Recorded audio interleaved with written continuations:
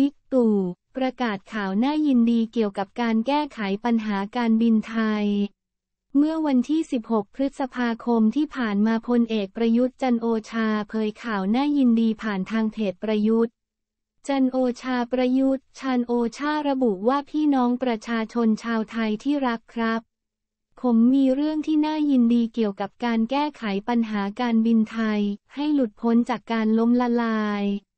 โดยมีความเป็นไปได้สูงมากว่าจะสามารถออกจากแผนฟื้นฟูกิจการได้ ภายในปี 2567 ซึ่งเร็วขึ้นกว่าที่กำหนดไว้เดิม ทั้งนี้ผมขอถอดบทเรียนแห่งความสำเร็จแบบย่อๆได้ดังนี้ 1. ปัญหาในอดีต การบินไทยประสบปัญหาขาดทุนสะสมต่อเนื่องมาตั้งแต่ปี 2554 เฉลี่ยปีละกว่า 7,000 ล้านบาททำให้ปี 2563 มีภาระหนี้สินกว่า 3 แสนล้านบาท และขาดสภาพคล่องกว่า 54,000 ล้านบาท 2. แนวทางแก้ปัญหา ในการดำเนินการตามแผนฟื้นฟูกิจการ ผมได้แต่งตั้งคณะกรรมการติดตามการดำเนินการแก้ไขปัญหาการบินไทย เพื่อประสานหน่วยงานที่เกี่ยวข้อง และสนับสนุนการแก้ไขปัญหาของการบินไทยอย่างใกล้ชิด 3. ผลการดำเนินงาน คณะกรรมการดังกล่าวได้รายงานในที่ประชุมคณะรัฐมนตรีวันนี้ วันที่ 16 พฤษภาคม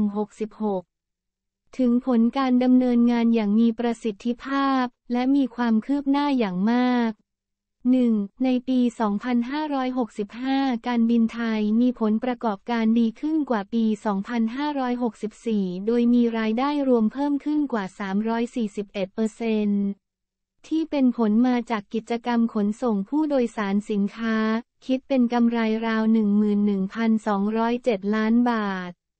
2. ในไตรมาสแรกปี 2566 มีรายได้จากการขนส่งผู้โดยสาร 32,106 ล้านบาท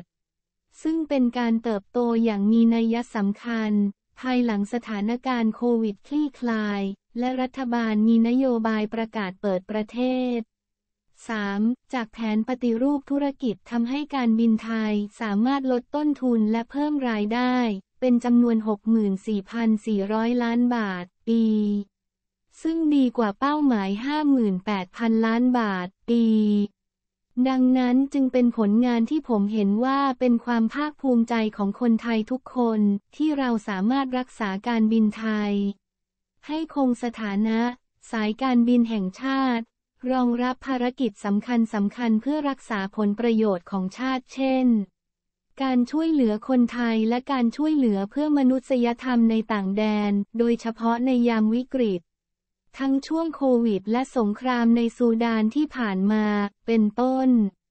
ผมขอขอบคุณและชื่นชมทุกหน่วยงานที่เกี่ยวข้อง ในการทำงานอย่างมีประสิทธิภาพและบูรณาการกัน จนสามารถสร้างความมั่นใจได้ว่าการบินไทยของเรา จะสามารถออกจากแผนฟื้นฟูได้เร็วกว่ากำหนด และพร้อมรองรับภารกิจต่างๆ ของรัฐบาลโดยเฉพาะในอุตสาหกรรมการท่องเที่ยวของไทย